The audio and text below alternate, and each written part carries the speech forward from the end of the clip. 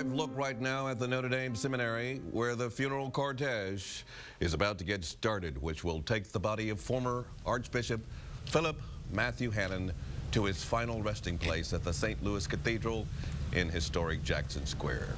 Good afternoon, I'm Norman Robinson, and this is our special coverage remembering Archbishop Hannan. It is the third day in mourning for one of the most revered figures in the history of New Orleans, the man who led the New Orleans Archdiocese for more than two decades. This afternoon, we'll show you the funeral procession from several vantage points, beginning at the Notre Dame Seminary on Carrollton Avenue, as it turns onto Canal Street in Mid-City, and as it arrives at historic St. Louis Cathedral in the French Quarter.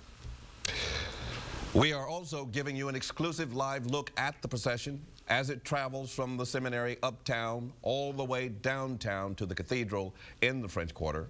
Thousands of people, including students from Catholic schools throughout the region, are expected to line the route to pay their respects as the horse-drawn carriage goes by, carrying the body of former Archbishop Philip Hannan.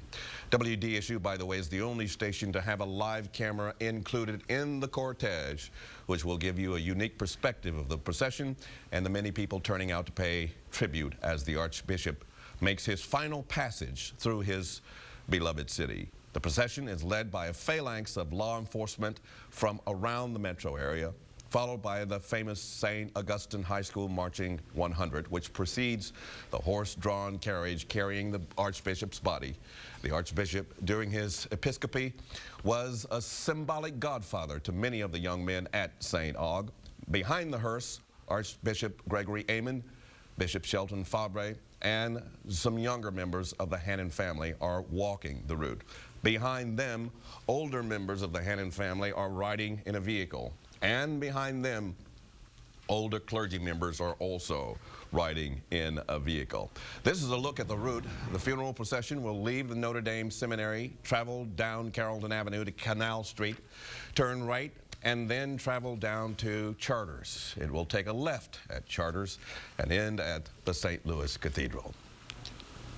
Right now, we want to take you out to the seminary where WDSU reporter Gina Swanson is standing by. Gina?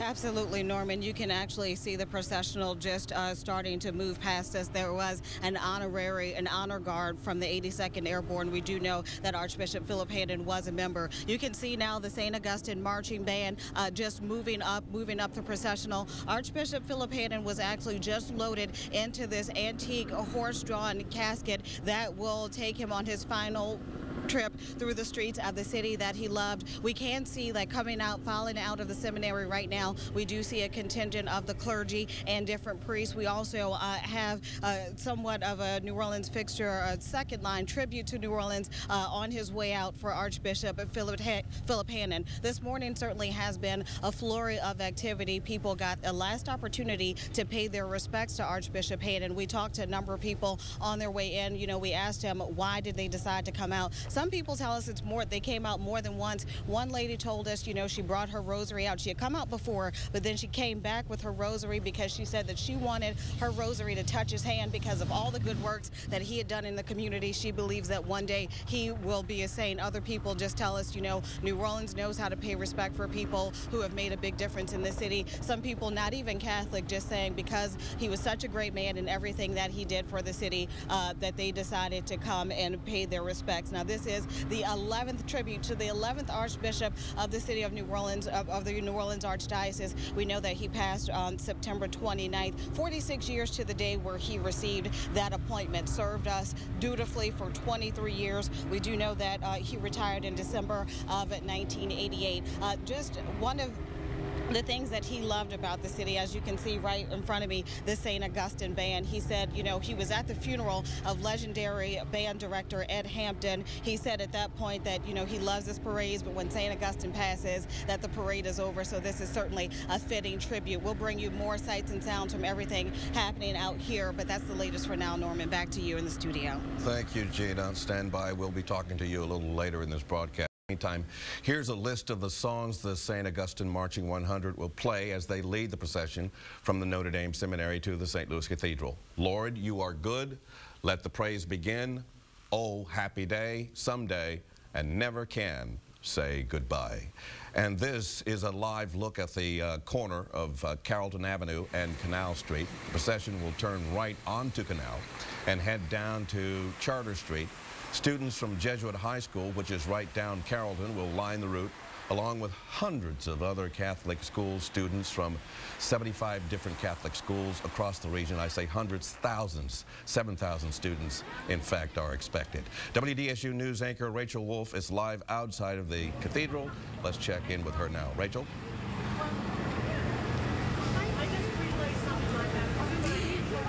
Norman, I'm, having a little bit of a hard time hearing you, but there are lots of different tourists milling about the area right now, asking lots of questions. What's going on? What'll be happening here? Of course, this is where that procession is going to be ending up. We're here at St. Louis Cathedral. If you take a look here behind me, absolutely gorgeous day. We have the police that have cordoned off this area. This is where the body will actually be taken inside. Of course, Archbishop Hannan will be entombed at St. Louis Cathedral. There will be visitation here tonight and into tomorrow before that actual funeral starts.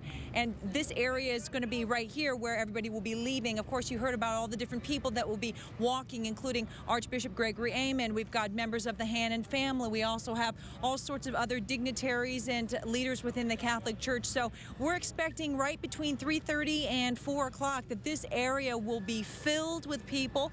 It's about a four and a half mile route. So again, they're expected to take about till about 3.30 or 4 o'clock before they get here. So at this point in time, we're just ready, waiting. A lot of people wanting to take pictures and be a part of this very auspicious occasion. Live on your side from Jackson Square, Rachel Wulff, WDSU. Back to you, Norman.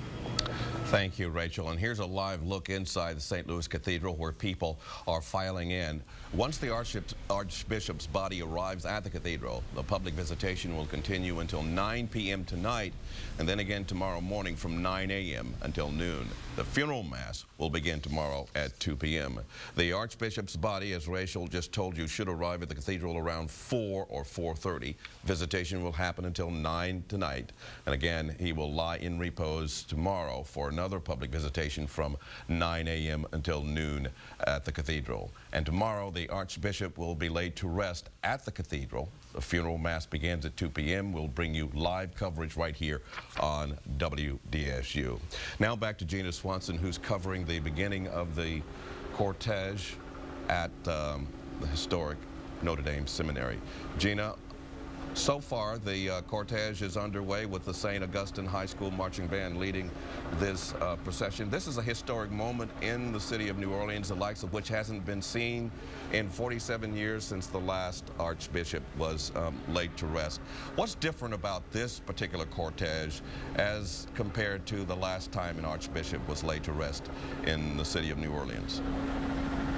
Well, Norman, what I can tell you is that the St. Augustine Band is the only band that is in this cortege, and all of these uh, Catholic school students actually lining uh, the route. Here we are next to some young, young ladies from Dominican High School. We also uh, saw uh, hundreds of kids from the Archbishop Hannan's namesake school. They came out, they actually sung the school song in his honor. You can see that this processional is certainly moving along. You can see uh, the police escorts, and coming up here shortly, uh, hopefully coming into view is actually the casket that is carrying Archbishop Philip Hannan, certainly beloved uh, in this community. Uh, people have been coming out, lining the streets in this area for hours now. When we first got here, people were getting here, claiming their spots because they wanted to be part of this history-making moment, and you can certainly feel the magnitude, the gravity of the moment. While Archbishop Hannan served us dutifully, a lot of people say, you know, 98 years old was certainly a good life and that, you know, he will certainly be welcomed into the pearly gates. Uh, Charbonnet Funeral Home actually uh, is responsible for this antique casket that will carry him. Just a, another signature moment, something uniquely New Orleans, just little touches that Archbishop Philip Hannan would have wanted in a homegoing service for him, Norman. Gina, this particular service uh, kind of relates to the relationship that the Archbishop had with the citizens of New Orleans. He came here in October of 1965 and immediately embraced the city and its culture. And I understand that the um, current Archbishop, Gregory Aymond, wanted to make sure that that culture was captured with this particular ceremony as it relates to not only to the St. Augustine High School Marching Band, but as it relates to this 18th century horse, horse-drawn um, hearse. Absolutely, Norman. He came here just about 20 days after Hurricane Betsy in 1965. The city still in ruins, but he immediately got to work and not just did work on behalf of Catholics, he actually worked for everyone in the community, which is something that uh, some of the mourners pointed out, some of the people who came out to, to wish him well. As I mentioned, some of the little New Orleans touches because we know that he wasn't born in New Orleans, but he certainly considered himself a New Orleanian. We actually have uh, a, a, person, a second line uh, member, if you will, in this procession as well. Certainly all the touches the Archbishop would have liked. Here at the seminary, you can hear uh, the St. Augustine Band is actually uh, getting ready to start playing um, their first number. You know, don't expect any somber tunes out of them today. That is not what the Archbishop would have wanted. He was an upbeat and lively person, and so Archbishop Gregory Aymond requested that the music be upbeat and lively uh, in tribute to him, Norman. And Gina, when the band starts playing, let's see if we can capture some of the sound of their tribute to this uh, this great man, this man who um, embraced the city of New Orleans and was in turn embraced by all of its citizens. If it can be said, or if it's proper to be said, he was more than just an archbishop. He was a community leader who was loved by all Catholic and non-Catholic, was he not?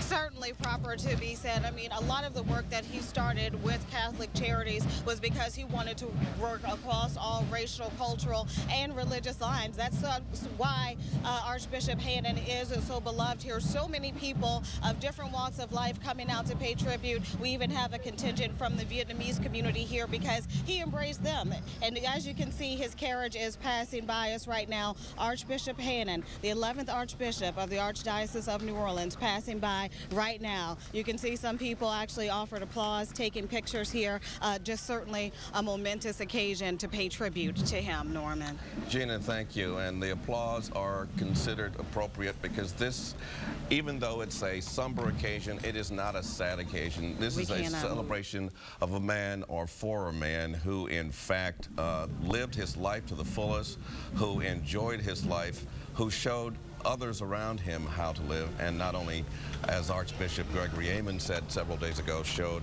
us how to grow old gracefully and how to how to die graciously. Uh, a man who um, made his stripes by serving others and doing that service uh, with a smile on his face always. Uh, you can see some of the uh, younger members of the uh, Archbishop's family now walking by behind the hearse. This trip down to um, St. Louis Cathedral, by the way, from the seminary is four and a half miles long. So the younger members will walk, and um, the older members of the Archbishop's family will um, will ride in limousines. And these are some of the uh, the priests who uh, participated in the um, in the uh, final mass at the seminary this morning. This is an exclusive look from our Go Live camera, which is uh, leading the procession. Um, it is directly in front of the um, the mounted police from the New Orleans uh, Police Department, uh, and which is directly in front of the horse-drawn hearse. Um, this will be the visage that you can see all the way down to um, Canal Street, uh, down to Charter Street as the procession makes its way to historic St. Louis Cathedral. The students lined up al along the um, procession route are members of uh, some 75 Catholic schools, not just uh, representing the New Orleans area, but uh, areas from Laplace Reserve, um, St. Bernard throughout the area, and, and, and in particularly a school uh, that was named after the Archbishop um, Archbishop Hannan High from the North Shore. Um, many, some 350 of its students were bused in to uh, line the, um, the cortege route and pay their last respects to um, their beloved namesake. This um, absolutely is an incredible visage, uh, Gina. This is this is something we, that perhaps people will note from for for many years to come. Absolutely, Norman. But you know, beyond uh, high school students, we should also mention that students at Xavier University will be lining the route as well. Uh, we actually talked to one of the Xavier faculty members who said that, you know, this is a man who brought the Pope to Xavier University. How can we not pay tribute to that? Now, uh, we can see that people along the procession are starting to shift here a little bit from the seminary uh, to Carrollton Avenue as the procession makes its way. But beyond Archbishop Hannan's family, we also had a contingent from Catholic Charities. We know many of the programs that Catholic Charities operated started in the 23 years when Philip Hannan was the Archbishop here. So not just for Catholics, but for all people, especially the elderly and the poor. People always remember that he had a big heart and, a heart of service. And so everybody took, uh, lots of people took the time out of their day to come out and tribute. Now, in these limousine buses here, we do have some of the elder members of the clergy and some of the elder members of the Hannan family who weren't up uh, to make the walk. Uh, this is the end of the procession here, but uh, certainly the events are carrying on on Carrollton Avenue. We're going to see if we can uh, check in with some people just to kind of give us their thoughts about uh, why they came out. Would you care to talk to us about why you came out? Okay, no problem. But we do have a lot of people out here uh, who earlier shared their thoughts on Archbishop Hannan, just telling us that that they thought uh, it was worth it to come out to take a time out. Some people took their time out from work just to have this moment here and pay their respects, Norman. And Gina, how, how many people are in that particular cortege? Were you able to, um, to, to, to, count or make an estimate of the number of pe people walking along and riding along with the uh, procession? I will tell you this, just the marching band alone, we have 180 members of clergy. We have dozens more. I would give it in the range probably of about 300 people in the cortege making this journey, uh, the last journey with Archbishop Philip Hannan through the streets of the city that he loved so dearly, Norman. And I was talking to uh, some members of the um, Ancient Order of Hibernians uh, as we continue to look at the procession. This is procession from our exclusive live camera that is mounted to a vehicle in the procession. And uh, as you can see, the procession is making its way down Carrollton Avenue, past that uh, that uh, that Shell station, where some um, 200 to 300 um, college students uh, or Catholic school students have been stationed to pay their respects to the uh, former Archbishop. The, uh, the um, Immaculate Conception School has 60 kids there. Our Lady of Prompt Succor School from the West Bank, there are 40 kids there. St. Anthony School from Gretna has about 60 kids there in St. Cletus School, 60 kids, and, and the uh, Visitation of Our Lady School is represented by some 120 students. The crowd is very somber, and occasional applause uh, as they pay tribute to the man who called New Orleans home for 46 years. He came here uh, from Washington, D.C. in October uh, 1965. Um, he made New Orleans his home and he embraced the people of the city of New Orleans, immediately jumping in to help out where he could. He arrived shortly after Hurricane Betsy had, had devastated the city. And of course, he was here through the devastation of Hurricane Katrina, no longer Archbishop, but made it a point to lend a hand where he could. Um, people who have have befriended him, have talked about his uh, selflessness, uh, his unselfish service, his willingness to, uh, to go above and beyond whatever was needed. These are students filing into St. Louis Cathedral where the uh, Archbishop will be laid to rest um, tomorrow uh, doing a Mass at 2 p.m. His body is scheduled to arrive there as the cortege enters historic Jackson Square sometime around 3.30 and 4 p.m. this evening. Now, we are told that uh, about a thousand people are expected to attend the Mass tomorrow at St. Louis Cathedral. There will be an overflow crowd. Um, and because of that, there will be a giant screen television so that uh, people outside will be able to see the uh, mass as it's being conducted from um, inside. We will also be covering that, that, um, that service for you live. The uh, mounted police are leading the way as the cortege heads down uh, Carrollton Avenue for its four and a half mile trip to historic St. Louis Cathedral. I was talking earlier doing Mass today. They had a final Mass at the seminary. I was talking to some of the people in attendance, and among them was the uh, members of the Ancient Order of Hibernians in Louisiana. Division One, by the way, um, was named for uh, Archbishop Philip Hannan, and they trace their origins to the uh, immigrants who came to New Orleans between 1847 and 1853. Archbishop Hannan uh, is known to have uh, frequented many of their um, their parades on St. Patrick's Day. He was a man who was uh, about um, serving the people. Uh, there's an old saying that uh, many people are called, but only a few are chosen. He was certainly a chosen leader who understood his mission and made it a point to uh, reach out to people ac across cultural, um, social, economic, and um, racial lines.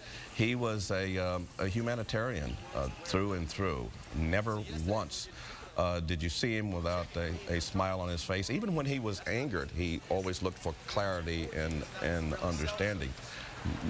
Never was a, a person who, who ducked or shunned controversy or, or tried to, um, to avoid um, a controversy. He was always willing to engage you in any kind of conversation as long as it was constructive. Gina Swanson is standing by with, with one of the um, the parade witnesses or, or pro procession witnesses, people who came out to uh, pay their last respects to the Archbishop. Gina?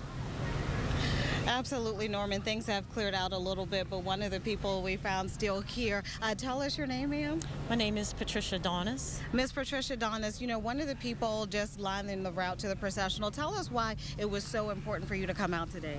I wouldn't have missed it for the world. If I could be here, I was going to be here. And we love the bishop. Bishop Hannan, he, he loved uh, New Orleans, and we love him back, and we wanted to give him a good send-off. Do you have any memories of Archbishop Hannan that you would like to share? Any thoughts? Oh, many years ago, when I was growing up in Vacherie, Louisiana, he came out to St. Philip's Catholic Church and he confirmed me and my sister Judy and my brother Daniel on the same day. And, um, and when I graduated from Dominican College, he was there and he handed me my diploma. Mm. He was certainly uh, beloved in this community. Many people characterize the day as bittersweet. Would you uh, share that characterization?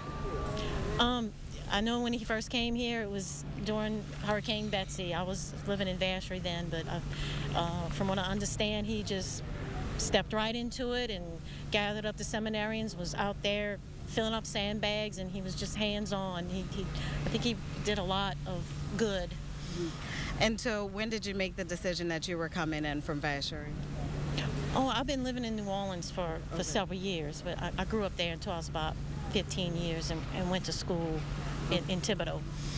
All right, thank you. We certainly appreciate you talking to us. Norman, just one of the many stories people have of Archbishop Philip Hannan. We actually talked with someone earlier today who told us that he was an educator, that Archbishop Hannan actually ordained him as a deacon, but he had a conversation with him saying that he didn't feel like he was fulfilling his ministry. He said Archbishop Hannan sat him down and said, you teach children, right? You have employees, you have teachers. That is your ministry. So no matter whatever your station in life, this person was telling us that Archbishop Hannan uh, was uh, had a way of just encouraging you. Even though this person said he didn't feel like he was doing uh, as much as he could in church, he felt like uh, what he was doing in education was his service to this community. So just a lot of nice vignettes, stories we hear about Archbishop Hannan that we've been hearing throughout the morning. Norman. No question about the fact that the man was a friend to to everyone, and his primary mission was to serve humanity, and that he did by leading and by setting an example. This is a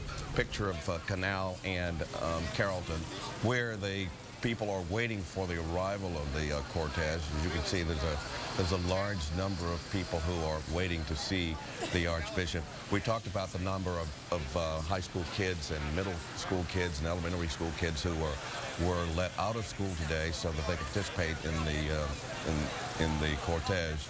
Um, but there are a number of just everyday people who are, are joining them uh, along the procession route to, uh, to pay their respects to a man who, who reached across all boundaries, uh, a man who was, who was no stranger to just about anyone in the, in the city of New Orleans, not just the city of New Orleans, but throughout the entire metro area. The man was well known and well loved. And he was a priest's priest. In fact, Gina, Gina Swanson is standing by with a, with a priest who has some fond memories of the Archbishop. Gina? Absolutely, Norman. One of the a member of the clergy still out here. Uh, we just want to ask you very quickly. First of all, tell introduce us. What's your name, sir? My name is uh, Father Min Phan. I'm a, a, a, Vietnamese. I was ordained in 1997, and I work here at uh, Notre Dame Seminary. Could you tell us uh, just your thoughts on Archbishop Han and his legacy and his work in this community? First of all, as a Vietnamese, He's a, a, wonderful father to us. In 1975, the Vietnamese people uh, found their place here in, in New Orleans, and Archbishop uh, Hannan was uh, one of the first one uh, and officially welcomed all the Vietnamese people starting a new life here in, in the city of New Orleans and in the Archdiocese of New Orleans.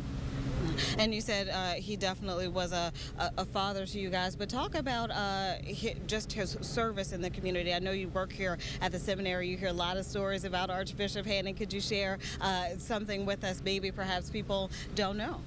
For many years, he lived at uh, that building and uh, uh, commune with us with meal every day. Um, and uh, share with us so many activity every time we get uh, we gather here at the seminary. And you know young people would love to look up to uh, uh the archbishop for him to share the journey of the priesthood um, the, the sacrifice that they would share in their life. And uh, archbishop Hannan was always there with us sharing simple meal with us they watching football game with us and sometimes he's on the other side and we're on the other side and we cheer each other up and he really joined us. And I remember in 1997 he was um, uh, very sick at time and uh, it my turn to be ordained uh, to the priesthood at the cathedral where he's going right now. And uh, he wasn't feeling well and yet he accepted my invitation to be there for us. And those are the wonderful memories and I'm sure there are many other memories that that has been highlighted the last few days. How he how he spent time with us uh, during uh, Hurricane Katrina, and then 40 years earlier with the uh, Katrina, with the Hurricane Betsy, and he's always there for us. All right. Thank you, Father, for those sentiments. Uh, definitely someone who can give us insight uh, as Archbishop Hannan served as a mentor to those on their journey in the priesthood. Like I said, just a wonderful mix of different thoughts and memories out here. Uh, all these people just paying their final respects to a man so beloved in this community, Norman. No question about it, Gina. And I'm reminded of one of my favorite poems by uh, John Donne, the 16th uh, century poet, who said that each man's death diminishes me, for I'm involved in mankind. Therefore, never ask for whom the bell tolls, the bell tolls for thee. Wherever the bell tolled, um, Archbishop Philip Hannan was there to answer it. Um, there you had a perfect example of the priest that uh, Gina just interviewed. Um, that uh, it was 1975, as the priest just told us, that uh, Archbishop Hannan reached out to the Vietnamese community. I, he took a trip to a refugee camp in um, Arkansas where he found deplorable, squalid conditions. And he took it upon himself to answer that bell. The bell rang and tolled for the people who were suffering um, incalculable indignation uh, in that refugee camp. And he sought to bring them to, um, to the New Orleans area. Um, it was a practical reason, and there you have a picture of the Archbishop in his final years there. Uh, he never stopped serving. But it was a practical uh, matter. The man, he, he once um, described Pope John Paul as intellectual and pastoral. I think that that somehow fits a description or characterization of, uh, of Archbishop Hannan, because wherever he found um, injustice or strife or struggle, he tried to write it. And he, he recognized that in that refugee camp in Arkansas. And he was instrumental in bringing and relocating those Vietnamese refugees here to New Orleans where they flourished. As you know, the Village de l'Est, the, the Vietnamese community there is the largest Vietnamese community um, in, the, uh, in the country, in the United States. And they flourished here because they were fishermen in their, um, in their mother country of Vietnam. And, and the Archbishop saw that and put the two cultures together and uh, they became quite a success. And he is remembered, and he is remembered for that. That's just one of the many examples uh, of his of his compassion and his reaching out to uh, to help lift up humanity. Let's go back to Gina Swanson now, who has another priest for an interview. Gina. Absolutely, Norman. We just heard one uh, priest tell us about Archbishop Han and how he was a mentor. We have another member of the clergy here. Introduce yourself to us. Hi, I'm Father Kenneth Michels from the Diocese of Alexandria. From the Diocese of Alexandria. So, uh, tell us about Archbishop Philip Hannan's legacy to you if you had to uh, just share some words about him. I, I, would. The word that came to mind as I was standing here was, was triumph. The triumph of the church, the triumph of Catholicism, and the triumph of a life well lived. I think this was a very fitting way to send him to his eternal reward. And I'm very happy to have been here to partake of it. And I'm happy for so many people in New Orleans to have been here and to have given, uh, shown their appreciation and being able to witness a life so wonderfully lived in service to his Lord. When you say wonderfully lived, 98 years old is certainly a long life. There was a bit of sadness earlier this morning, but uh, the Archbishop Gregory Aymond asked the band to keep things upbeat for someone uh, so lively. Was this a fitting tribute, you would say? It certainly was. And, you know, as a priest and as a bishop, you know, fortunately, we do not leave behind children to mourn us or a wife to mourn us. So it is the people uh, coming out to show their generosity and their appreciation for the years of service, and that's a happy thing. Uh, that, that that's a happy moment. So yeah, there is sadness, of course, because we miss the person, but there's so much to be happy about in a life lived so triumphantly. And last question for you. I know you came in from Alexandria, not too far away, but I mean, Archbishop Hannan's legacy certainly was far-reaching beyond New Orleans, beyond uh, Louisiana, even. Is that the case? Yes, he, he, he was the Archbishop when I was here at the seminary. And um, having recently read his book, and, and uh, I actually gave her an overview of it to a group of Catholics in Alexandria, his impact was so, so was felt all over the world, really. From, as his the title of his book says, from uh, uh, combat to Camelot uh, to Katrina. Uh, uh, uh, throughout his life, wherever he was, he was a giant of a man. And, and you knew he was there and he made a difference in people's lives. Mm. And I suppose you could sum it up by saying out of that marvelous life and that life so well lived, he saved the most momentous thing that happened to him. He saved for the last page of the last chapter of his book. And he related an incident in World War II when he was in occupied Berlin two days uh, uh, after it fell. And a woman, middle aged, was pulling her, her cart with her son in it, and she was weeping and crying, and he tried to console her. And, but she could not be consoled. And finally she said, I can, you cannot help me because there's no one left to love me. My husband is dead. There's no one left to love me. And he said that's what it's all about in the end whom we have loved and those that have loved us. Thank you, Father, for those words. What uh, what a wonderful uh, sentiment uh, to share about Archbishop Philip Hannan. We know yesterday the former Archbishop Alfred Hughes said that this was a man larger than life, and that certainly was evident by the amount of people that came out to pay tribute today. Norman. Gina, um, and to uh, to quote the, uh, the, the late Archbishop, who once said, um, "It's not a person's degrees that matter in life." That are important. It's how they live their life. And, and I think that not only did he talk the talk, he walked the walk. He, he led by, by example, and there was nothing that was too small for him to do. If it was picking up trash, that's exactly what he did. Um, if it was um, just lending a hand at a service or filling in for someone who was sick, he was never too important to do that. You are continuing to look at the uh, cortege. This is a live look at the cortege, which is almost to Tulane Avenue. As you know, the cortege left the seminary. It's on its way up to um, Canal Street, where it will make a right turn um, and end up at the um, St. Louis Cathedral, which is where WDSU anchor Rachel Wulff is standing by, waiting its arrival. Rachel?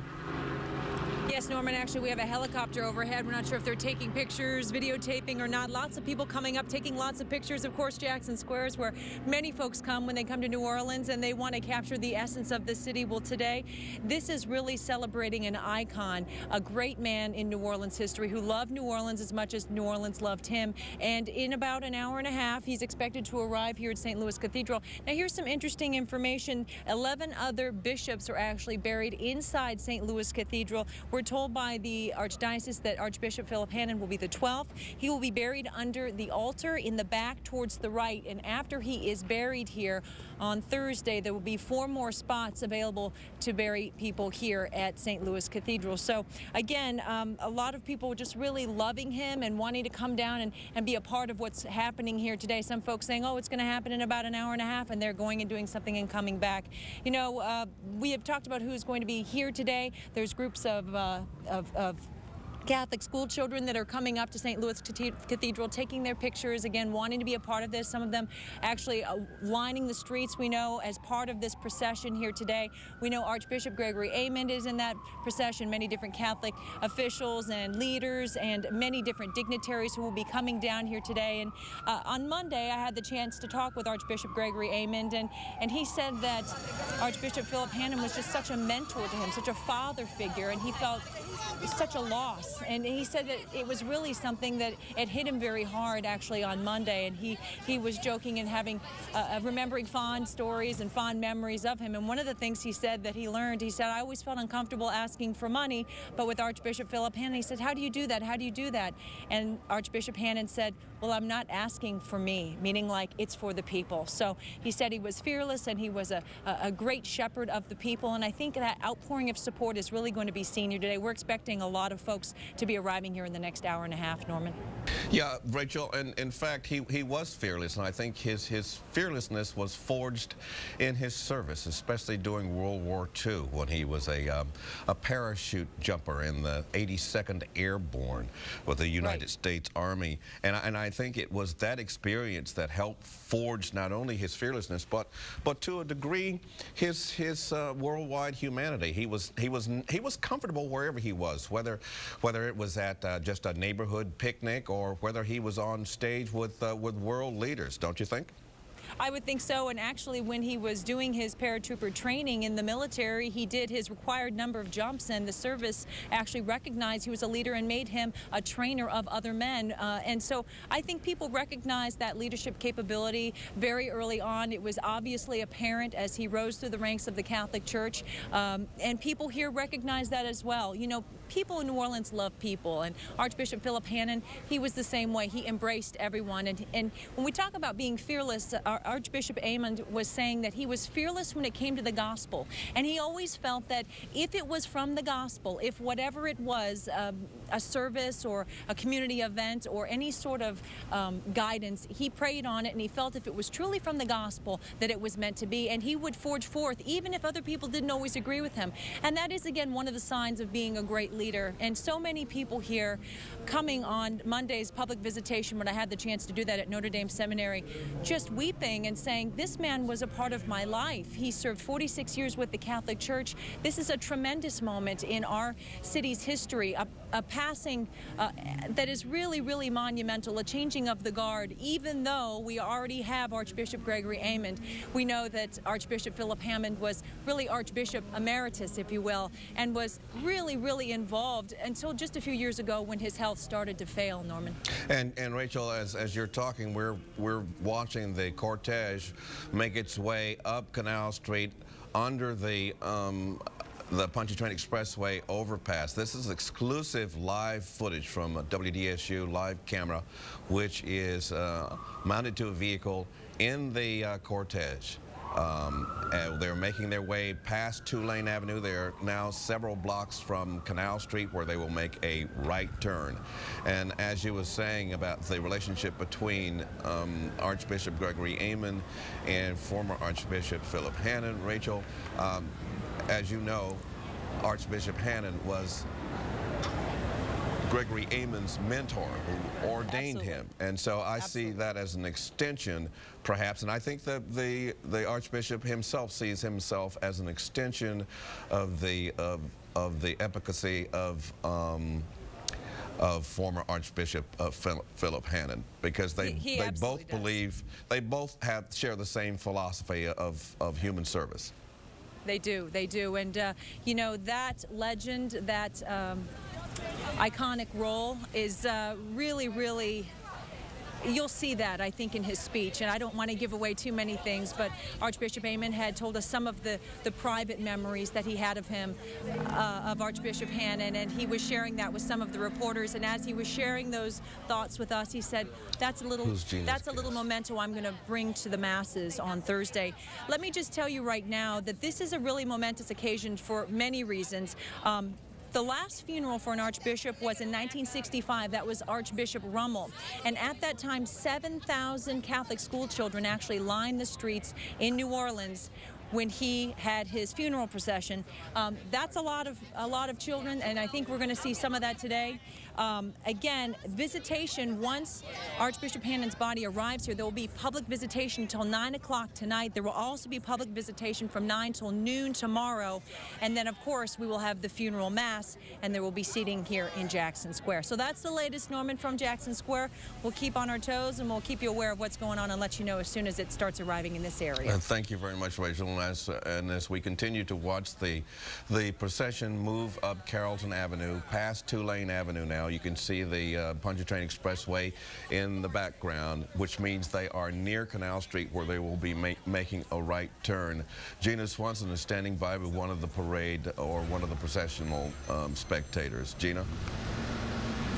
Absolutely, Norman. Talk about the impact of Archbishop Philip Hannan. We have with us Jim and Mary Kane. They're here from Los Angeles. They were here for a planned, a planned trip, but they decided to come in a little bit earlier just to bear witness to this. Uh, Jim, tell us why you thought it was important to come out today. Well, yeah, I think Archbishop Hannan is uh, intertwined with New Orleans, and there's no place like New Orleans that embraces someone, and in turn, he embraced New Orleans back. Mm -hmm. And, and Miss Mary, what would you say your sentiments are on the Archbishop? Well, we heard about him and we heard the impact he's had in the in the area. And I've not been to uh, a funeral since I was a very young child in New York, where I'm from, for the funeral of Cardinal Archbishop Spellman.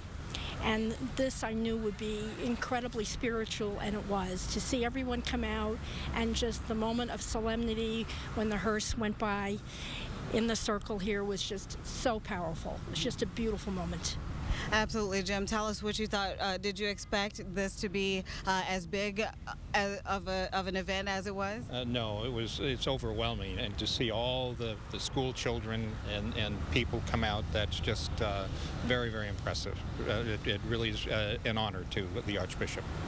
Jim and Mary Kane here from Los Angeles came in a few days earlier just because they wanted to be a part of this momentous occasion out here. Things have pretty much cleared up here at uh, at Notre Dame Seminary earlier today certainly was a frenzy of activity as people wanted to take their final moments as he was laying in repose here. Uh, just a touching moment as we send uh, Archbishop Hannan on his homegoing service. Norman. It was a touching moment um, from the very start. Um, from the Mass this morning to the loading of his body into the, um, the 18th um, century horse-drawn hearse. It was a touching moment. And we, we forgot to mention, Gina, and I just remembered that uh, that the services this morning, the Mass, the final Mass at, uh, at the place that was home to the Archbishop for so many years, was officiated by former Archbishop Alfred Hughes this morning, who is riding along in that uh, funeral procession as we look at live pictures now of uh, St. Louis Cathedral, where the um, Archbishop, former Archbishop's body will lie in repose until the funeral mass tomorrow afternoon. They are preparing now to receive his body, which will um, be open for review until 9 p.m. tonight and again from 9 a.m. until noon tomorrow. This is Carrollton at Canal, where the procession has finally made its way. Uh, you'll see a, a, cadre of New Orleans police motorcycles uh, leading the procession. In front of them um, was the uh, mounted police from the New Orleans Police Department. Behind them is the honor guard, the color guard um, by the sheriff's office and uh, and several other law enforcement agencies in this cortege, which features not only NOPD, but Jefferson Parish um, detectives and, and sheriff's office personnel, but uh, the Orleans Parish Sheriff's Office as, as well, um, among others. Uh, this is a, um, a day that will go down in history in the city of New Orleans. We haven't seen this in 47 years. The last um, archbishop to be buried here was Archbishop Rummel. And the difference between this cortege and, and Archbishop Rummel's cortege, there were 17 uh, limousines um, carrying the um, family members and clergy. This um, particular cortege is more uh, akin to the New Orleans culture in that it has a horse-drawn 18th century carriage and uh, many walkers, among them the Archbishop Gregory Aymond, um, Bishop uh, Fabre, and uh, um, members of the Archbishop's family, the former Archbishop's family, the younger members, of course. This is a four and a half mile jaunt or walk from the um, Notre Dame Seminary down to um, Canal Street. On my right side, on your the right side of your television screen, you can see the cortege. On the left side of your screen, you can see people along Canal Street waiting for the arrival of the cortege. We're told that uh, it should arrive in Jackson Square uh, by 3.30 or 4 o'clock this afternoon where the uh, former Archbishop will lie in repose. Of course, this is a look at historic uh, Jackson Square. You can see the cathedral, the steeple for the cathedral in your picture. Now you can see more children filing more students filing into the cathedral. Let's go to Rachel Wulff, who's standing by uh, in Jackson Square. Rachel?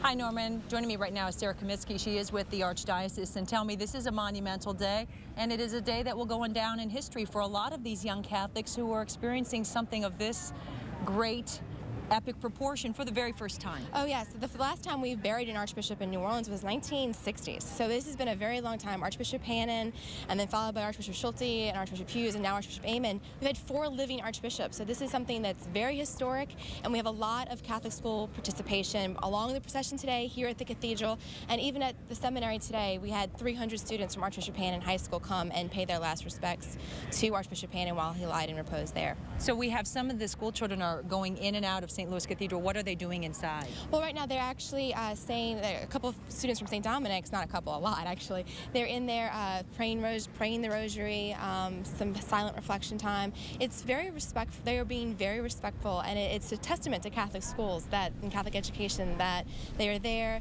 and taking the time to really be silent in the church in this historic cathedral for this historic day. And there are thousands of people lining the streets. Not a surprise for you folks. How much planning did this take? I mean, you guys were, I know you were ready. He was ill for quite some time. But what did it take to put together an event like today? Well, you know, Archbishop Hannan may have may have been ill, but he has lived such a long and full life, and he's always um, you know, for lack of a better word, rallied. We've had, you know, uh, he's but he, amazing man who's done so much. And even though we were sort of prepared, there were preliminary plans. This was a monumental task for Archbishop Aymond and the Special Events Committee and all of those who were involved in planning the Mass and all the services leading up to it. So I don't know if you know the answer to this question, but did Archbishop Hannan have any special requests knowing that this day would once come in terms of the procedure or the procession? You know, I'm not aware of any particulars that he requested for the actual funeral service. That would be a question Archbishop Aymond would definitely be able to answer for you later today. But um, the one thing that he said and we were able to accomplish was he wanted to die in the bed that he was born in. And while it wasn't the exact setup that he probably had in mind, he was very happy to know that that bed that he was born in, all his brothers and sisters were born in, was there with him in, in his room as he passed. Surrounded by family, if you will, very symbolic. And of course, we had St. Aug's Marching 100 leading the way, which That's we know right. he was uh, a big fan of the music and the culture of New Orleans and really embraced it. And that is really, again, symbolic of New Orleans to have a band like that leading the way. And brings a bit of, of jo- joviality, I guess you would say, fun to this very solemn, solemn occasion. It, it is a solemn occasion, but we are, it's a celebration of life. And, you know, Archbishop Hannan lived a life that anyone could envy. Uh, I mean, from his time in World War II, he was actually there as a child when they broke ground on the National Basilica in Washington, D.C. So he's seen so much. He lived a life he'd want people to be celebrating. And as Archbishop Aymond said, he's a true New Orleanian. He is. He is. He didn't want. He didn't want to go back to D.C. I asked his family about that. He said, "No, I'm staying right here." We know that when he is buried, that uh, he will be wearing certain vestments, um, the mitre, and then the pallium, and we know the pastoral staff. But let's talk about those New Orleans Saints cufflinks for a second here. We've got a lot of Saints fans. Yes. Was that something he had ever inquired about, or was this sort of a surprise gift? The Bensons are uh, have always been very close with Archbishop Hannan, and uh, Mrs. Benson had a special relationship with him as a parishioner of the cathedral for many, many years. And so um, when this came about, when he, when he passed away, the Bensons called Archbishop Aymond and said, we, we want him to have something of the saints to take with him. And so they made that gift at the cufflinks. And I'm sure he's smiling down that he has those with him to go forever. A lot of people very envious. What a very, very gracious gift, and we appreciate that. Well, thank you again for all information, and we'll be talking with you more throughout the day. Great. Sarah Comiskey with Thanks the. Archdiocese, no problem. So again, things starting to ramp up, a few more people starting to fill Jackson Square. And let me just speak briefly about tomorrow. I know we're focused on 4 o'clock here when his body is supposed to arrive, but there will actually be a funeral mass, as we know, tomorrow. And, and what Sarah is telling me is there will be 300 seats inside Jackson Square. So that will be like stadium type seating. It's not set up right now. It'll be set up tomorrow morning. So if you come down here and you would like to get a seat, it's first come, first serve. There will also be a communion mass as part of that funeral procession. So what we know is that anybody who gets in those seats will get a host and actually be a part of that communion mass. So right now what you're seeing are some more Catholic school children arriving here at St. Louis Cathedral. Um, some of the classes and uh, again different parish leaders from across the New Orleans area coming to pay their last respects and again to be part of this very historic occasion here in New Orleans. Norman? Uh, Rachel, you you talked about some very important uh, points as it relates to the the Archbishop's um, association with the New Orleans Saints. He was an avid fan. As a child, he grew up uh, being a baseball fan with the Washington Senators. But uh, when he came to New Orleans, he uh, he converted to a, a a a diehard Saints fan. In fact, he delivered the first he, he delivered the um, invocation at the first Saints game back in 1967. Um, he was a he, he he did become great friends with uh, with uh, Saints owner Tom Benson, and of course, he was friends with. Um, Benson's, the lady who would become Benson's wife, her name was, was Gayle Bird at the time. She was one of the lecterns at St. Louis Cathedral, and, and as a matter of fact, that's where Tom Benson met her. He he was a, as a devout Catholic, he would would attend mass at St. Louis Cathedral, which you're looking uh, uh, taking a live picture. Um, you're looking at a live picture of St. Louis Cathedral now, but uh, Tom Winston's, Benson's wife, Gayle, was a lectern at uh, at St. Louis Cathedral, and Tom Benson, attending mass one day, um, asked who she was and inquired, and was later introduced to her, and, and uh, the rest is history. Now she is Mrs. Gayle Bird uh, uh, Benson. So the, the fact that they gave uh, the Archbishop a pair of New Orleans Saints cufflinks comes as, as no surprise. Is that uh, no surprise as they were uh, very very close to each other. This is the St. Uh, Augustine Band. Let's see if we can hear what they're playing.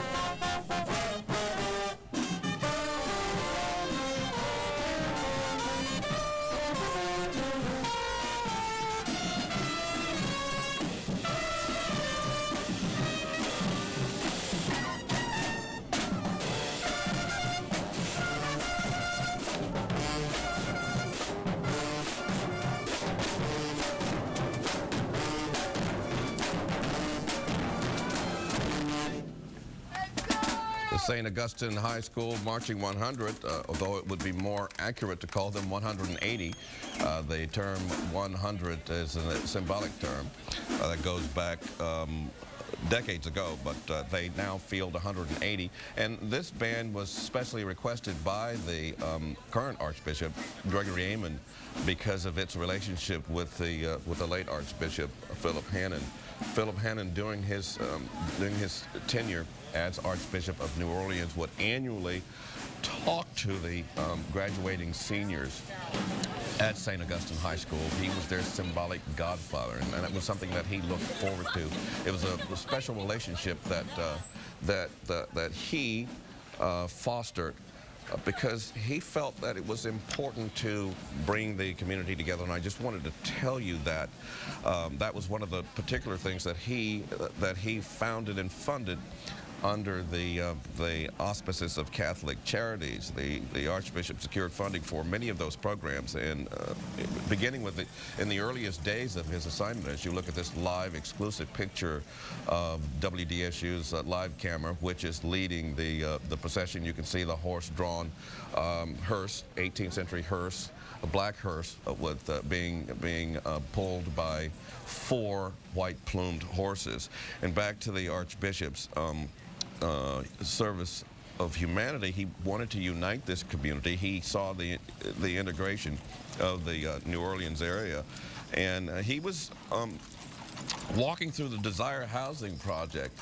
Um, there is the the, the hearse um, being drawn by those those specially outfitted horses, um, being flanked on both sides by the uh, the priests who uh, were um, among those who helped administer the uh, final mass at the Notre Dame Seminary this morning at um, at 11 at 11 a.m., which I which I, I might note had uh, was attended by an overflowing crowd of people, both Catholic um, and uh, non-Catholic. But I did want to say that uh, the Archbishop was uh, was very um, popular for his um, position of uniting the community. He was a uniter.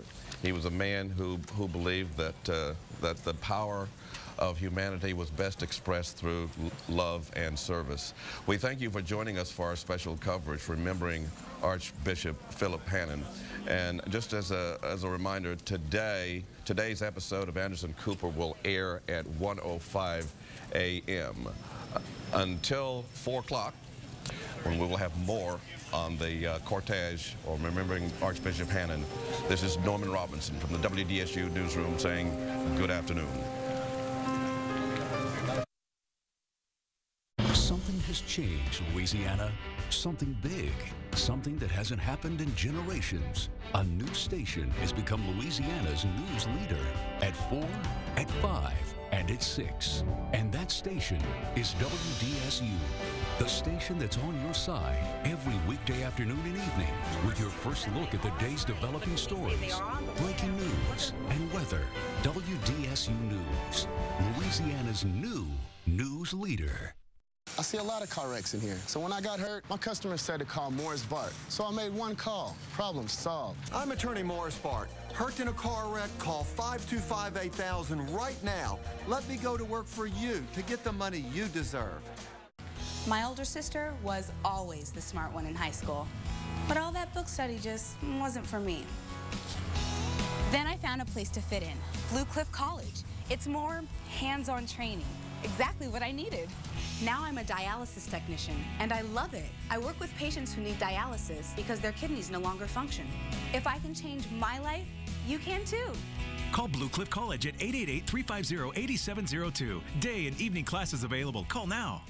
Don't paint, don't vinyl, go Rhino Shield. Never paint your house again. Rhino Shield. Imagine if the next time you painted your home was the last time you painted your home. Rhino Shield is a revolutionary permanent ceramic coating that comes with a 25-year warranty. Rhino Shield is a great alternative to traditional painting, party board, and vinyl. It won't chip, flake, mold, or mildew, and it's 100% maintenance-free. It's more affordable than you think, and you'll never have to paint again. Rhino Shield. From corrections to communications, from patrolman to platoon commander to detective, from sergeant to SWAT, from lieutenant to captain to major to chief deputy. For 28 years, Chief Jimmy Pohlmann rose through the ranks. Now he's ready to bring his courage and command to the job of sheriff. If you want the best person to do the top job, then elect someone who's done them all. Chief Jimmy Pohlmann, sheriff for a safe St. Bernard. No matter where you live, enjoy a New Orleans original daiquiri. New Orleans original daiquiris, serving fun for over 25 years. The original!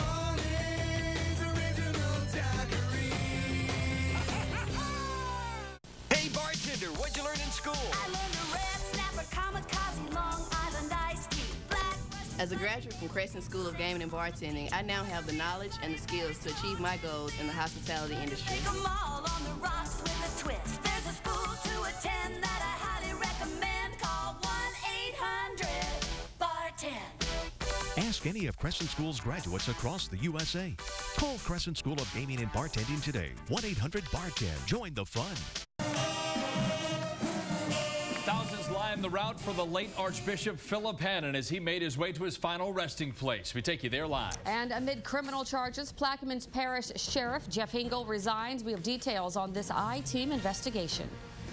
From Louisiana's new news leader, this is WDSU News at 4. Archbishop Philip Hannan is a step closer to his final resting place at St. Louis Cathedral. Today, a procession started at Notre Dame Seminary. Part of that procession were clergy members, the St. Augustine Marching 100, and Catholic school children. We have team coverage of today's procession. We're at the Notre Dame Seminary where the procession began, and we're live at St. Louis Cathedral where mourners can continue to pay their final respects. But we begin now with WDSU reporter Gina Swanson, who is live at the seminary. Gina?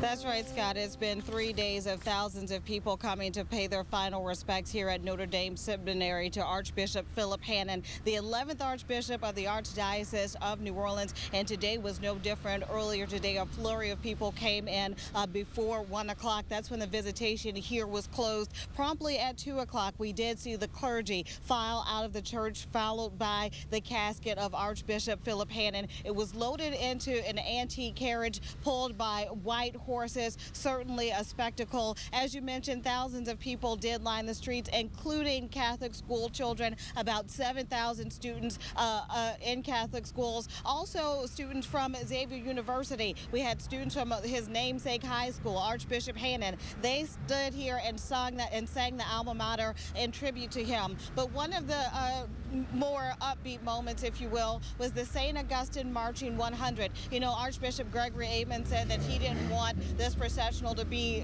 somber. He wanted it to be upbeat and full of life, just like Archbishop Philip Hannan. At last check, the procession was right at Rampart, making its way to the St. Louis Cathedral, and that is where my colleague, WDSU anchor Rachel Wulff, is now. Rachel.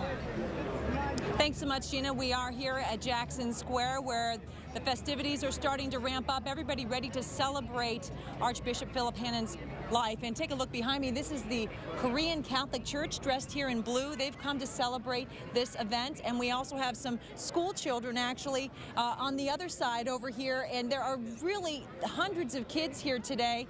And uh, they're dressed in their finest, wanting to be a part of the big event here today. So it's very important that the kids who are here today understand what today is all about. And joining me right now is Sister Mary Sheila. And those are some of your kids. And you're with which school Yes, again? we're at Cathedral Academy, so it's the school that goes with St. Louis Cathedral. And this is a big day for us because St. Louis Cathedral is the center of the French Quarter and the center of the city of New Orleans, and a cathedral means the seat of the bishop, the archbishop. So Archbishop Hannan was really the pastor for our school, Cathedral Academy, and we're blessed to be a part of his life and the celebration of his life today. Well, I'm sure all the youngsters have been studying the bishops and everything like that. What does it mean watching them experience this through your eyes? It's a joy. I know Archbishop Hannan really loved the poor and really loved education. So we're we're privileged to be here. Our sisters, we're Dominican sisters from Nashville, Tennessee, serving here in the French Quarter at Cathedral Academy to serve the poor and to teach them like Archbishop Hannan wanted us to. It's obviously an emotional day. Thank you so much for Thank joining you. us today, and we look forward to speaking with you more, Sister Mary Sheila. So again, thousands of people expected to be here, and we're hoping maybe in the next 15 or 20 minutes for that procession to arrive here. Live on your side in Jackson Square, Rachel Wulff, WDSU News. Rachel, thanks. Tomorrow, Archbishop Hannan will be laid to rest beneath the floor of the St. Louis Cathedral. We will carry the funeral mass live right here on WDSU and on WDSU.com. It begins at 2 p.m. Camille? Well, it is a story that... And this is another live look at the funeral procession for Archbishop Philip Hannan. The procession is arriving at St. Louis Cathedral as we speak. You can see the escort um, in front of the Archbishop uh, being taken up to the cathedral, where, of course, he will be buried beneath the floor of the cathedral on Thursday, but he will lie in repose for a little while longer at the cathedral as uh, we approach that day. So we will continue to watch this picture, and as the Archbishop approaches uh, St. Louis Cathedral. We'll bring that back to you once again. And you can see the streets there lined with people waiting just to get a glimpse. So stay with us, everybody, and we'll have more on this when we come back. If you're going to pay your respects to Archbishop Hannan, you'll want to obey the parking rules. We'll tell you all about it when we come back. We got to get a new car for Amy. Just because you're new parents doesn't mean you can't look cool. 18 van, that would be so safe for Amy. That thing could take machine gun fire. This here was a horrible call. A new Up All Night, tonight at 8, 7 Central on NBC. Tonight, two new twisted cases. I'm going to be sentenced to death. And two women who tell it like it is. You and your office have lost your nerve. New Harry's Law and new SVU. Tonight on NBC.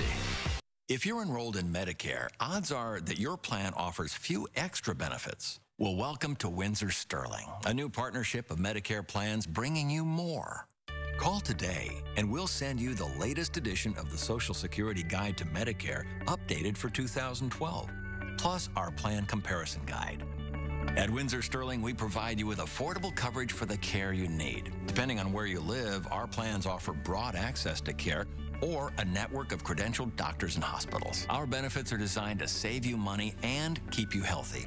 This means helping with out of pocket costs for care while offering such benefits as dental, vision, fitness, and over the counter health and wellness products, depending on your plan. We'll even send you timely, personalized reminders about the checkups and screenings you need. Expect more and get extra from Windsor Sterling. Call today for your free guide at 1 877 230 1798.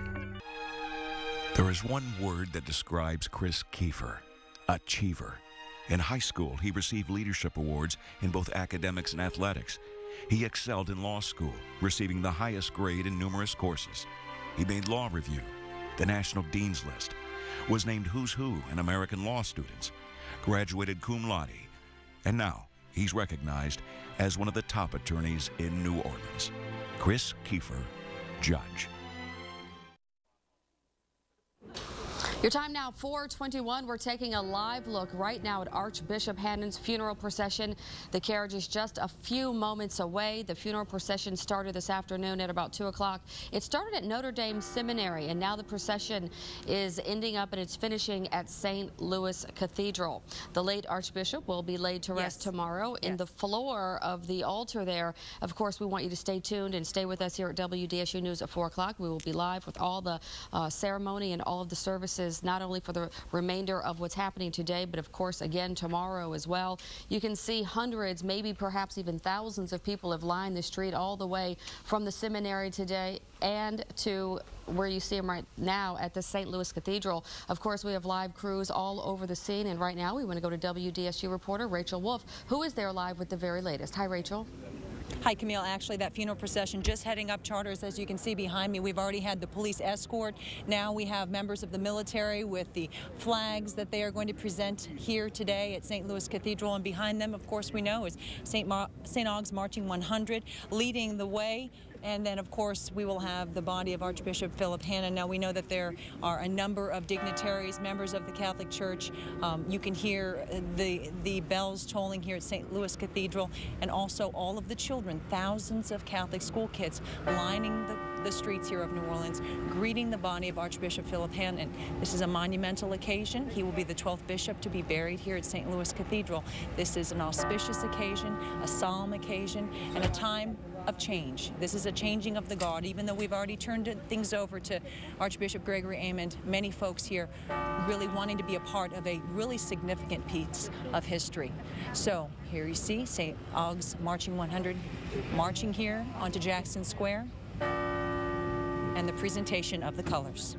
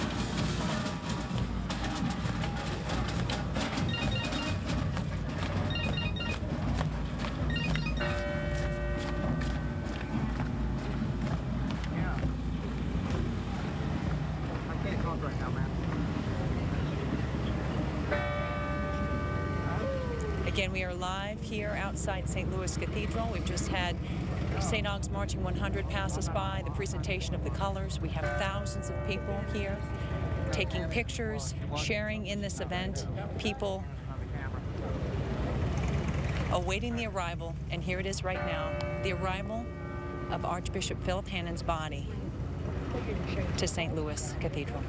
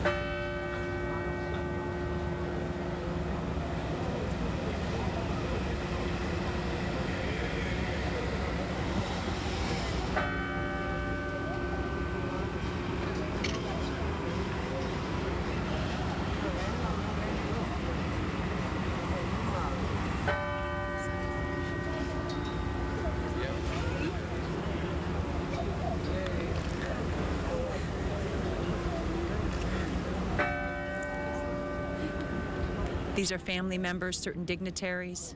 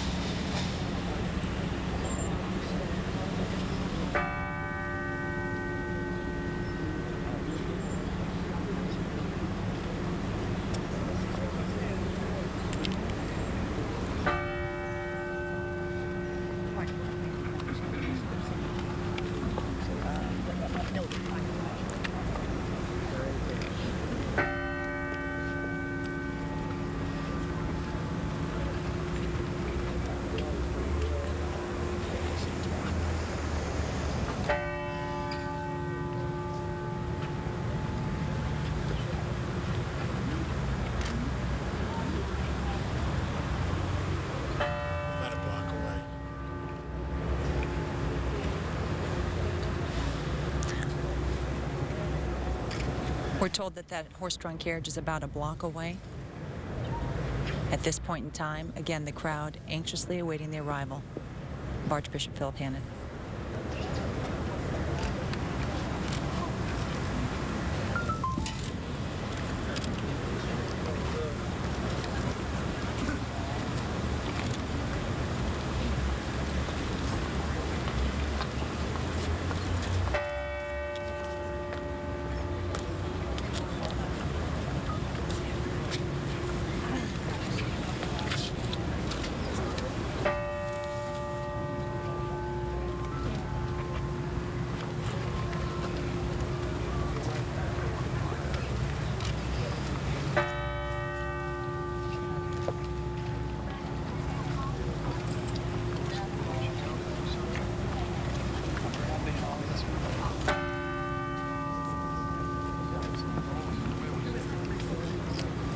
Archbishop Gregory Aymond,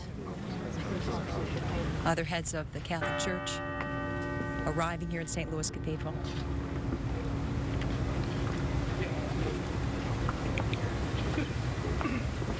Being greeted by members of the Korean Catholic Church. Those, these are the folks in blue.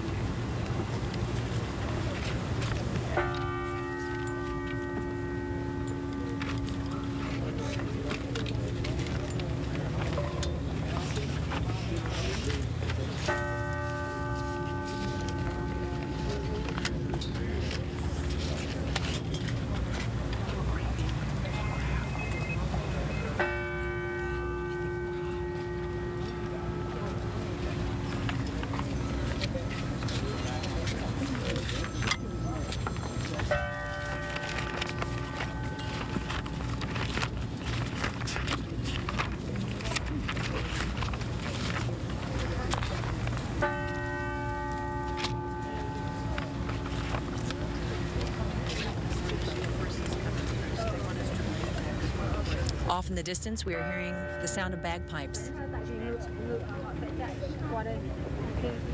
On Monday, the bagpipes were played by the Hibernians at the public visitation at Notre Dame Seminary.